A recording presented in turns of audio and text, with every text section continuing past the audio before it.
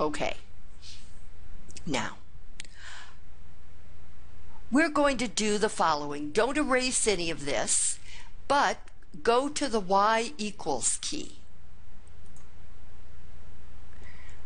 I want everything to be gone from there, okay? You need to have what I have here, which is nothing typed in. So if it is, hit the clear key. That will make everything go away. Now, if this is how you see your y equals screen with nothing written there, I'm pointing instead of moving the cursor so you can see it. What I want you to do is go down here to, ah, no, don't do that first. Go up here to plot one, right here, plot one. Hit your arrow up key and hit enter and then come down. Notice what that did. That highlighted plot 1. Now, this is what I want you to do. I want you to follow the cursor here, and I want you to push the zoom key. Now, don't push anything yet. Instead, push your down arrow key and go through, through the different possibilities. Ah, no, back one.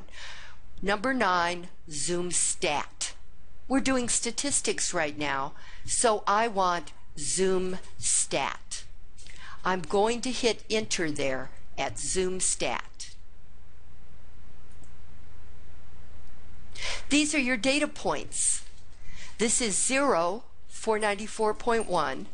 This is 1, 679.8. 2, 790.1. 3, 935.0, and so on. This is called a scatter plot. When you have points, we call them data points when we're dealing with regressions. When you have data points that are not connected with a line, you have a scatter plot. The purpose of finding your regression equation is to get a line that will be a good approximation of where those dots are. Notice you can see that they kind of sort of, not perfectly, but they kind of fall upon a, fall along a straight line. That means you've got a good correlation going there, a good correlation. They're related. The year and the number of internet users is related. All right, now we want to predict the future. So we need to actually have the line in y equals. I'm going to go back to y equals, and I'm going to make sure my cursor is blinking beside y1. Now, I want you to go to vars and push the vars key. Now, what we need to do is statistics. Notice statistics is here at number 5. So push the 5 key. Excellent. Now, I'm going to go over to EQ, push my right arrow key over to EQ. Now on my calculator, Reg EQ is right there at number one. But I've seen some people with calculators where Reg EQ is down at the bottom. So look for Reg EQ and wherever Reg EQ is, hit enter.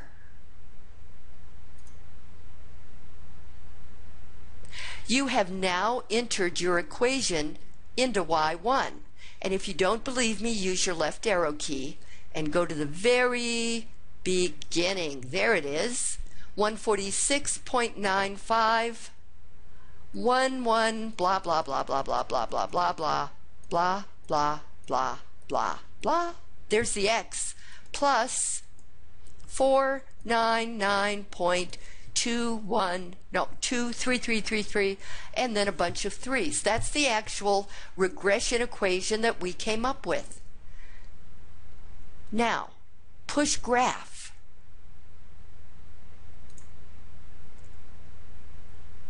Is that cool? That is just so cool. our regression equation almost perfectly matches our dots. It won't, uh, regression equations never really perfectly match, but this is really good. Now, okay, we're being asked to do something. Look at part B. Well, first, pause, write down your keystrokes. I'll be here.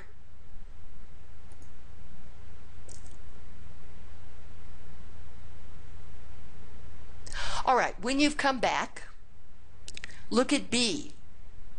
Using the function found in Part A, estimate the number of world internet users in 2012 and in 2015. Well, we're just going to do 2012. Now remember that 2001 is year zero, 2002 is year one, 2003 is year two. So what year will 2012 be?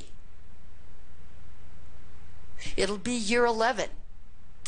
Now, notice that this was 0 to 7. That's as far to the right as our graph goes. 1, 2, 3, 4, 5, 6, 7, maybe 8. It doesn't go all the way to 11. We're going to have to change the window. All right, so I am going to push the button that says window.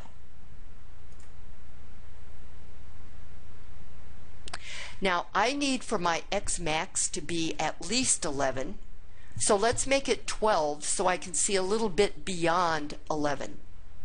So I'm going to, what am I going to do? I'm going to arrow down and I'm going to push 11. Notice that the 11 changes the whatever it was, 7.7.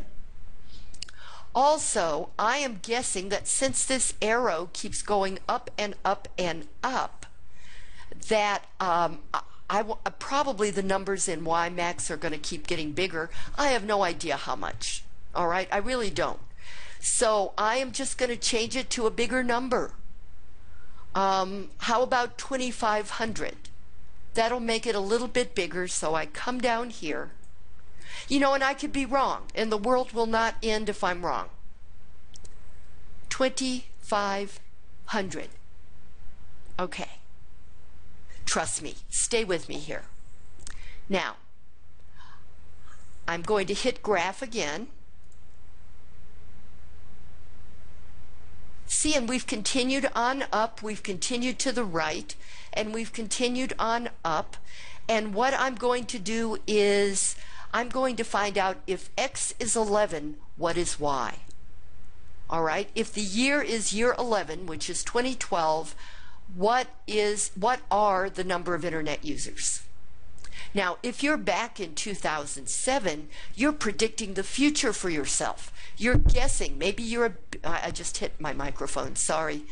Maybe you're a business person and you make internet stuff and you need to know about how many worldwide internet users there are going to be.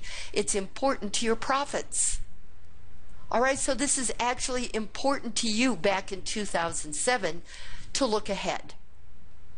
So we're going to do this. Follow the cursor. I want you to push the second key. And now come up here to the buttons underneath and push the trace key. This gives you your calculate menu. And what I need to do is for year 11, I need to find the value in this table. So I'm going to choose 1 or hit enter there at 1. Now it's saying, okay, x equals what? Well, I want x equals 11 for the year, so I'm going to type in 11. Boom, boom. There you go.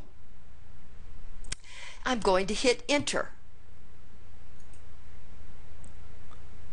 And there we go.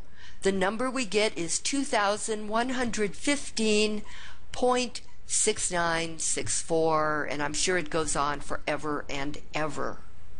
All right, but the answer is going to be 2.15.7. Notice how all of these are rounded to one decimal place. Now, does that mean there are going to be 2,115 worldwide internet users? No, there are going to be 2,115 million. That is, there are going to be over 2 billion internet users, or, well, from the future, looking from 2007, you say to yourself, wow, there are going to be 2,115,000,000.7 internet users worldwide. I'm going to build my app. Or something like that. That's what we're doing, and that would be the answer you're looking for. And you would go through the whole process again if you were looking for how many internet users there would be in 2015.